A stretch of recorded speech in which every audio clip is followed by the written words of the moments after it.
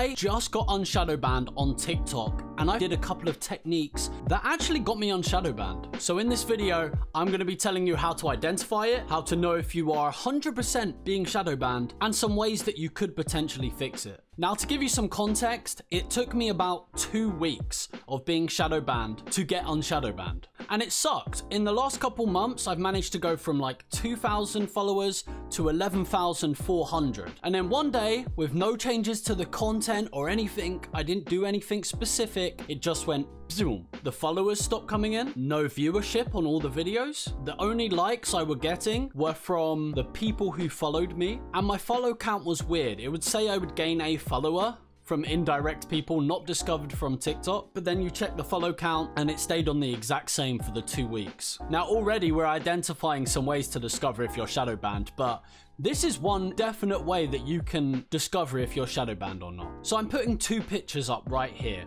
How, how the analytics work is after three days of posting a video, you can go look at your analytics and it will tell you who's interacted, who's who's followed or who's viewed your content, who's discovered it. Every single video from those two weeks were 80 to 90% from my followers, anywhere from 10 to 1% were from profile views. If you look at this image, this was before I was shadow banned. You can see the For You page is always, always, always the high majority. That is the 90% with a little bit of followers and a little bit of profile visits and external pages, etc. But that was one way I was for sure knowing that I was shadow banned. Also, I was going on every single profile who liked my content, and what I discovered was it was only people who followed me. So we weren't getting recommended to anybody. That's the whole point of the shadow ban. They're not going to publish your content publicly to new people on the For You.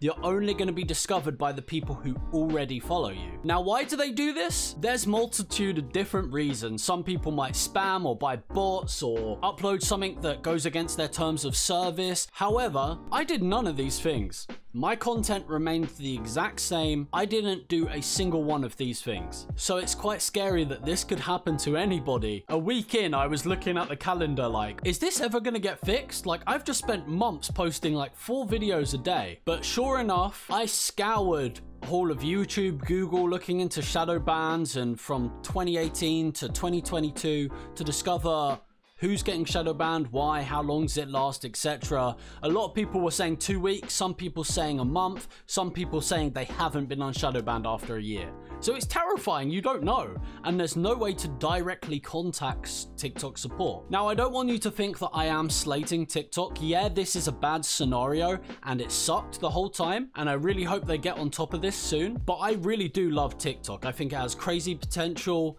I'm that guy in the friend group who's defending TikTok. It's just another video sharing platform. And I think compared to everywhere else, it's great for discovery for smaller creators and streamers. It's a fantastic way to build your brand. So I don't want this to come off as like a TikTok hate video, but this specific scenario, which could happen to anybody, sucks. There's also rumors that you could get shadow banned from people spam liking your content. People who will come along and just spam like, like out completely out of your control, but because it's seen as like almost like a bot doing it, they will just put you in a shadow ban and see what happens. So this is what I suggest you do if you find yourself in that scenario. Firstly, 100% identify that you are in a shadow ban. Do not just make assumptions or assume that you are, even if the data doesn't say so. Look at the analytics.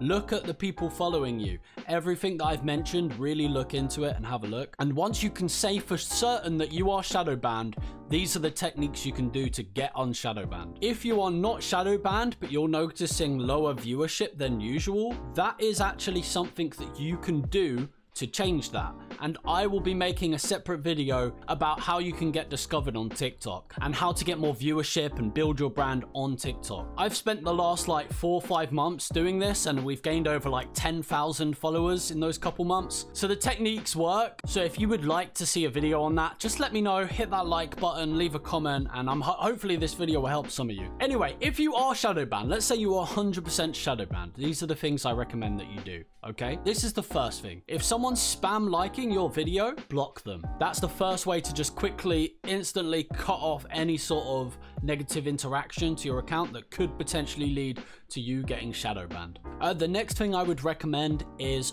uploading one video a day. So I normally upload about three to four videos, maybe sometimes more uh, when I'm unshadow banned. But when you're shadow banned, just upload one a day. There's no point you putting in all that time and energy for content that's not going to be discovered. But what you need to do is show them that you are legitimate, you are still posting regardless, and I think that will help you in the longer term. And the third thing I would do is post a video letting your followers know that you're shadow banned. Because if they really enjoy your content, most people will come and support you regardless, and that was very helpful to me, and it really showed me that even though it was only going to my brand, my viewers still had my back and they were super supportive, and that, that was a good thing to see, but it also showed TikTok that my followers are enjoying my content and they are very real. They, these are real people, not bots. So it does help you if people keep coming back. I put out a video simply saying, if you do see any of my videos on your For You page or your following or wherever, please just hit that like button, leave a comment. And the majority of people did. Obviously, a lot of people won't, but the majority did. Now, this is one of the biggest tips I can give you. I forgot what number we're on, but I'm just, I'm giving you my experience, what I've learned throughout this whole thing. Uh, and this this tactic I didn't actually see anybody talk about. I feel like this is the reason I'm unshadow banned. I don't know that for definite and I have no way to prove this, but this is the method I think actually helped me. So there's no way to directly contact TikTok support. There's no way. You can leave feedback in the app, but there's no direct contact, even if you're a uh, partnered creator fund creator. Or what I recommend you do is join the TikTok Shop Creator Program. Now, I'm going to put some screenshots up on this side. I'm just to move over. Being a part of TikTok Shop allows you to promote products and get a commission per sale. But being a part of TikTok Shop means you have access to TikTok Shop creator support. Now, it's not intended for stuff like shadow bans or like issues with your platform, but they are real humans who have access to these things who can help you. Now, in this one specific message here, they said in 48 hours, you will have a result and a response from us with a resolution to your issue. Surely enough, about 48 hours after they sent me that message, I was no longer shadow banned. Now, you can only join TikTok Shop if you have about 1,000 followers. I think it's if you're on 1,000 followers, you can join TikTok Shop or you can sign up via their website. But I feel like that's a method that definitely helped me get unshadow banned. But at first, they tried telling me things like, if you're using a VPN, make sure to turn off the VPN. Make sure you're up to date and at the latest version. Try logging out and logging back in, like all the defaults. The VPN one surprised me, but the rest were basically like just update your app, log out, make sure you're not got any content violations, all that stuff. I did all that just so I can respond and say, hey, the issue is still occurring. I think they knew it would, I knew it would, but it's never, it doesn't hurt to try, right? Also, my app was out of date, so. But sure enough, after the 48 hours that they said, my TikTok was unshadow banned. I'm now being discovered on the For You page again, and it took exactly two weeks exactly. Most research I did said it takes two weeks and then you're unshadow banned. TikTok Shop said in 48 hours. I don't know if they knew specifically that that's how long the shadow bans last. There's no direct information on this. And I've got to say that's pretty poor on TikTok's behalf. So one thing I can say for TikTok improving the platform is open up transparency and allow creators to have a contact or submit a ticket or something. But if you have any questions or you need help with anything, please let me know in the comment section. I would be honored to help you. Hopefully you don't find yourself in this situation, but if you're like me and you did nothing wrong and you've still ended up shadow banned, I wish you the best. I mean, just be patient, maybe focus on some other platforms. Do it, do some YouTube videos, build your YouTube, build your Twitch, do Instagram, do something else for the two weeks, but just post that one video a day on TikTok. So I hope this helped you. Hit that subscribe button, smash that like if it actually helped you. Appreciate you, much love, and I'll see you in the next one. Peace.